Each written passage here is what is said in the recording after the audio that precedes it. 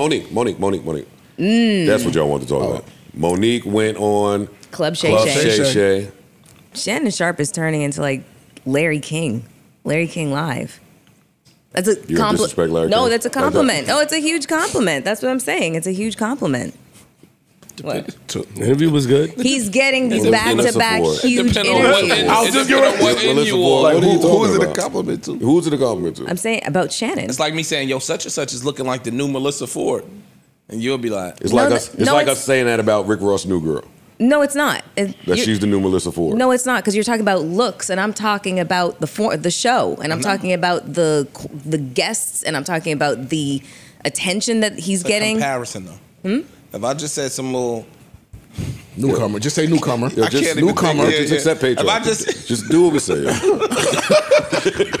I'm basically, I'm basically saying like I'm doing a comparison to somebody who won Emmys and Peabodys. If you don't think that that's a compliment, y'all are fucking tripping. They're not saying that. They're just saying the exact opposite. Melyssa, we're No, saying Larry King has been on compliment if you are television for Shannon Sharpe. 107 years. It's a compliment. So compliment yes, if you're Shannon Shannon. Sharpe has been on a beautiful run these last few months. Kill. But to now say that that's the new Larry King is a slight to Everything Larry that Larry King is. Okay, That's all- well, that's all we're I'm, saying. Meagan Good, okay, Julia Roberts. Okay, Yeah. I'm being Exactly. Shut up.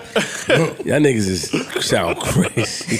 And why you immediately got to find a great white to compare our amazing black to? I'm gonna call out that little mixed Canadian white shit you be no, doing. No, no, don't make it a race thing. Don't make it a race You thing. do it a I'm, lot, I, though. no, I'm simply just talking about the profession. We talking That's about all, black that's, I'm, shit ta- right I'm now. talking about the profession. Don't start acting an Adin Rossish up in here. we talking about black Stop, shit. stop fighting with me, okay? I'm, right. I am paying Shannon a compliment. That is Yeah. what I am trying to do is pay him a compliment. He has had two monster back-to-back interviews. Like Monique, what it dropped like a day or two ago. It's at like eight million. Mm-hmm. It's doing really, really well. It's a great interview. Most of his interviews have done really well since. Now this might be doing real good, but he's been doing good. he's killing. Yeah. He's killing.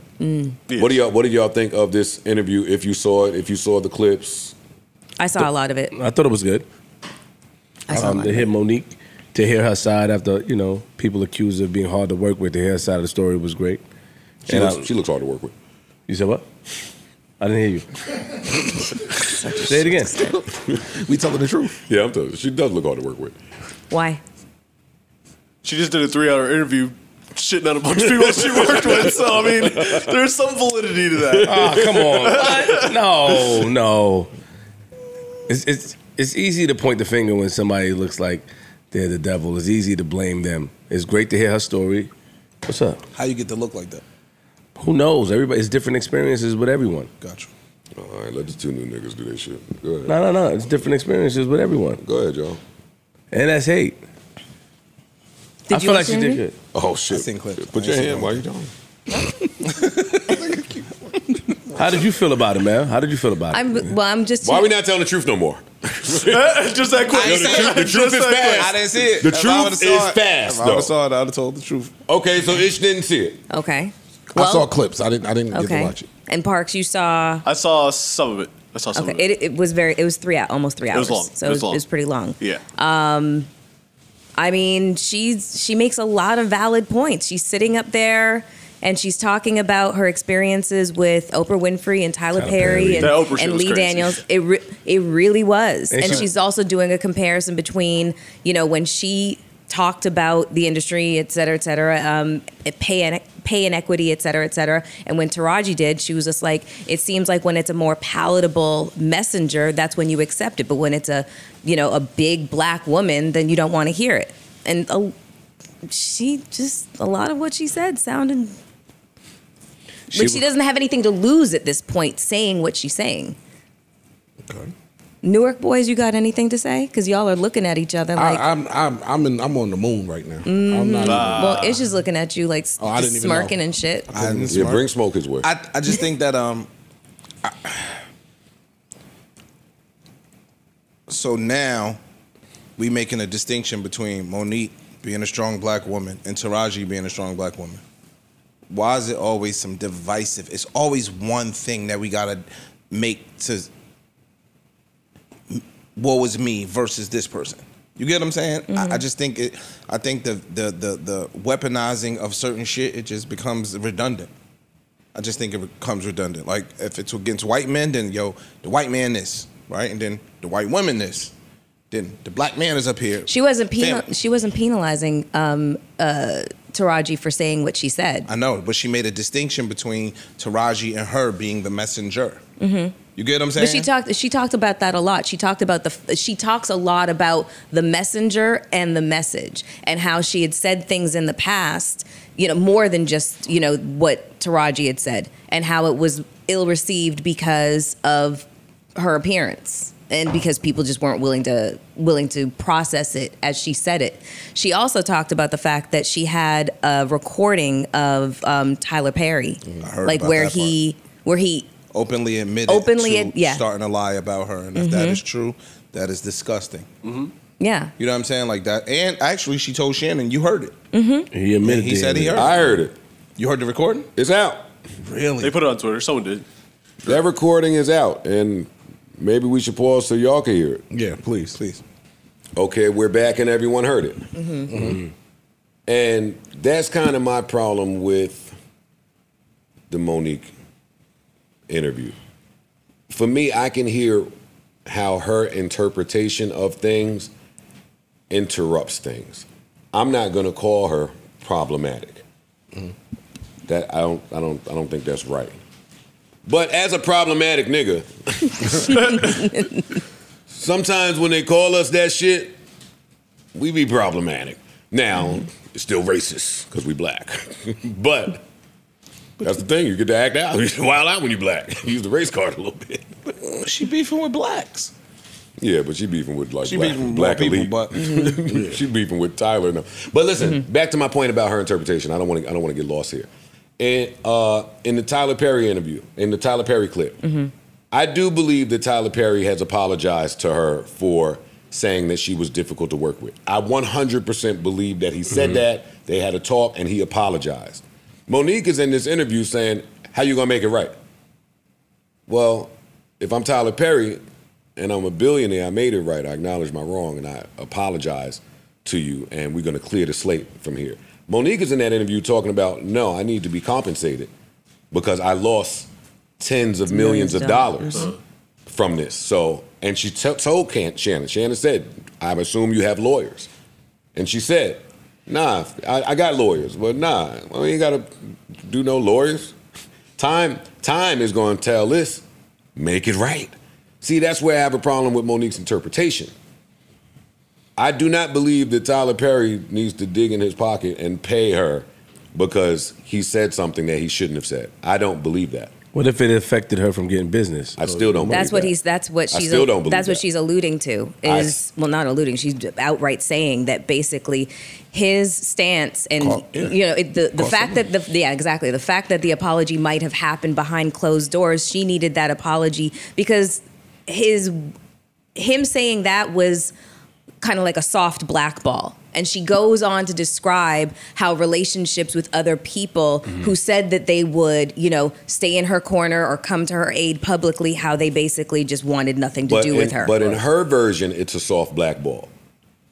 In his version, I could totally see where if we book you to do a movie and it's not in the contract that you have to do press and you say, I'm not doing press, I could see him going and telling his people, hey, she won't do press if it ain't in there, so be wary. Buyer beware. So, so That's I was, that's I don't think that that it may it may result in a soft blackball, Mm-hmm.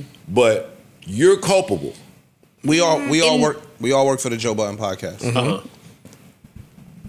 If Joe told us, "Yo, um, I, I we gonna do something for Grammys," Uh-huh. so yo, I two Thursdays from now, yo, could everybody Get show up two hours early and have a suit or a tuxedo on because we have um, uh, Pope taking pictures of us in all these different scenarios, right? Mm-hmm. Yeah, Our we, we're gonna be on the red carpet doing the interviews. Everybody get the tux. We're gonna fly out. I'm gonna cover the hotels. I'm gonna cover everything. If one of y'all say that's not in my contract, you're absolutely right. But that But- does Joe can interpret that as, yo, you kind of being hard to work with. Yeah. Mm-hmm. You get what I'm saying? Well, if, if we had to come here three hours early one day, Mm-hmm. so that we could take pictures, Poe gonna have us on the water, whatever, with our tuxedos on, whatever, whatever. We can honestly say, yo, we our obligation is to be here at X Y Z time. and you would be right. and you would be right. be- yeah. But then Joe But could so also say, "Yo, I'm A- one. I'm not doing you no favors. You can't ask me for no more favors." That's right. You get what I'm saying? Like I'm not obligated to publicly speak on your behalf anymore because you're not willing to go above and beyond unless you're getting paid. Cool. It's Yo- give and Hey. take. It's give and mm-hmm. take. He he hit that on the head, and and this is not even my most egregious issue with her interpretation in watching this. In watching this, she goes on to say that her and Kevin Hart had a conversation, mm-hmm. them 2 mm-hmm. and in that talk, somebody said His lawyer. no, no, they were talking to each other, not his lawyer. One of them said, "Hey, we're gonna get some. We're gonna do some work. I'm an executive produce on your shit." We, the, the talk that you had, Yes. The phony we talk. know the talk. Yeah. He had the It'd be phony. He had the phony talk. She she said, "I immediately hung up and called my company, Yes. Endemol, mm-hmm. and said, Kevin Hart said that he is down to executive produce and work and do such and such and such. Tell that to the company you're talking to because that's going to get this green lit faster. Of course, if you course. add Kevin Hart's name to anything, Of course. she's Right, not right. the only one that knows that. Kevin Hart knows that also. So now that's not how I do business as a billionaire or someone that has those those uh those goals. That's true. That is not how we conduct That's not how business. this works. Mm-hmm. So what Kevin Hart did was call his manager His manager, yeah. and said Go do the he's- dirty- go whatever do the dirty work. Whatever he said, which by Monique's version was, yo, I don't want nothing to do with Monique.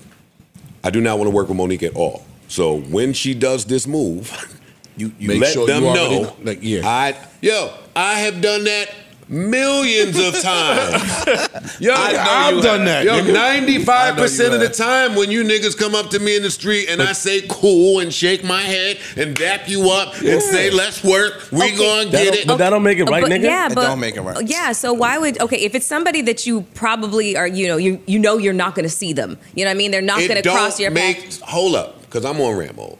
It don't make it wrong. It does. It kind of makes it really wrong. Now, why? Let me tell you why. How?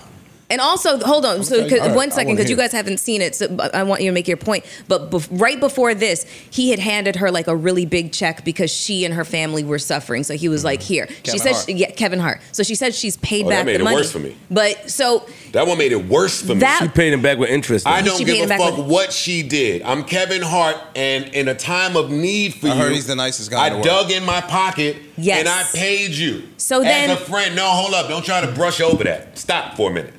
As a friend, I didn't have to do none of that shit. Right. That was the extent of my courtesy. You paid it back, great. But that was the courtesy. So then why- The nerve of you to still, after that, go add my name to a business deal? But- Are you crazy? But then- no, that's not how you do business. I'm sorry. But I'm- why I'm- I'm- bother I'm with it. saying it? Why bother saying that you'll even participate if you have no intentions of doing it? Melyssa, That's you the- an actress the- and you've been in LA. We don't have time for that. No, You no, an actress shit, and you yo. lived in I LA. heard, I heard That's that's, and I think shit. I heard that's is- LA shit. It really to take a meeting we to take a meeting to talk about taking No, another meeting where shit never like, ever "Yo, actually happens. Melyssa knows so, that's New York Melyssa knows shit. That's just a Every- I everywhere do, shit. So and that- I hate that shit. Yeah, but that don't mean that it's not a thing. It's a thing. it is a it is a thing. And if, industry veterans know it's a thing. I'm not going to talk about Kevin Hart and Monique like they don't know that that's a thing. but But we she- also don't know like the true like kind of like you know sense of their relationship that they may relationship. have. So One. she she no might act, relationship makes that move okay. And Kevin Hart's clear reaction to it tells you that. My thing is this. Putting my name on anything in Hollywood, I'm the golden child right now. yeah, he is. Monique, not so much. And I hang out with all these golden child type of That niggas. you beefing with. Mm-hmm. Yo, at that level, it's just a little different. I can see that. She does not have the pass to do that. And even if I am, even if I did have that conversation with you, let me approach that then. yes. I'll be the one to say it. Neutral button.